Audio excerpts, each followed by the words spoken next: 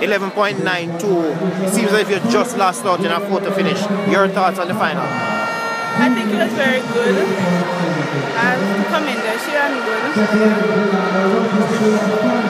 But um, overall, though, he seems to have improved a great deal this year over 200 and over the um, the 80 meter hurdles. Tell us about those events. Yes, I have a injury, uh, ankle, but I think I know. Um, are you enjoying it this year over last year and the year yes, before? Yes, this year is a better year than last year. And of course, you'll just um, get better and better as you progress. Yes, I will. Okay, thank you.